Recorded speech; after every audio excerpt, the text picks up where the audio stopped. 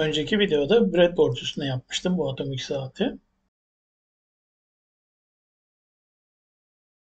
Breadboard'da çalıştırıp programını da düzelttikten sonra bir kutuya koymaya karar verdim önce. Daha sonra bu display standı geldi aklıma. Bunun içine bu devreyi yerleştirebilir miyim diye düşündüm.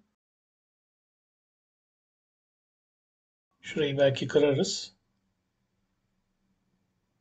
Yani biraz sıkışık olacak ama az yer kaplar diye buna koymayı düşünüyorum.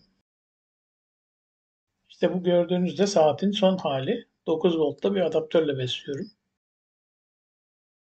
Şöyle bir göstereyim.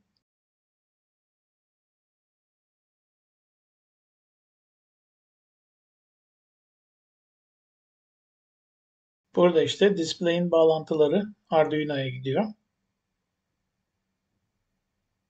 Tüm bağlantıları Arduino'nun yanına indirdim.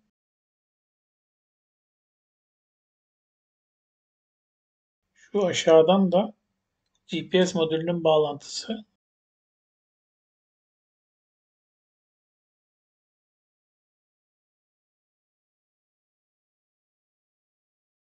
RTC'nin pilini buraya koydum. RTC'nin entegresi de burada. Niye böyle yaptım? Çünkü RTC modülü çok büyük. Buraya sığmadı. Entegresi de soketliydi zaten. Ben de entegreyle işte bu kristalini bu tarafa koydum.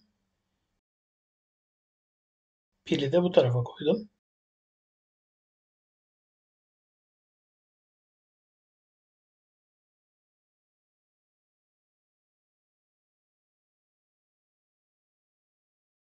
Plexiyi de kırmamak için aşağıdan çift taraflı bantla yapıştırdım. Oldukça da sağlam oldu.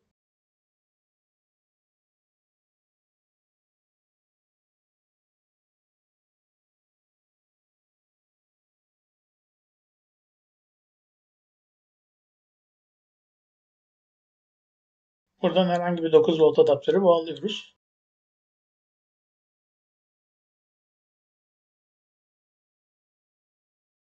Gördüğünüz gibi saat ilk açıldığında işte real time clock'tan RTC'den alıyor saati. Daha uyduya bağlanmadan önce. Uydu modülünün antenini de ön tarafa aldım ki yani daha rahat alsın. Zaten kapalı alanda kullanıyorum. Uyduya bağlanmadığı sürece RTC yazıyor orada.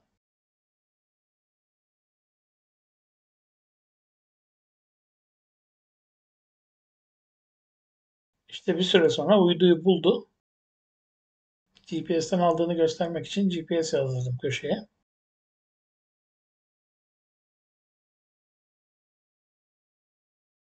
İşte uydu modülü.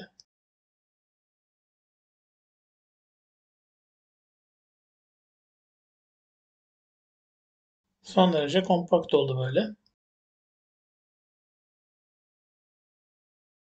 Ama tabii pille çalıştıramıyorum çünkü bayağı bir akım çekiyor. O yüzden adaptörle kullanmaya devam edeceğim.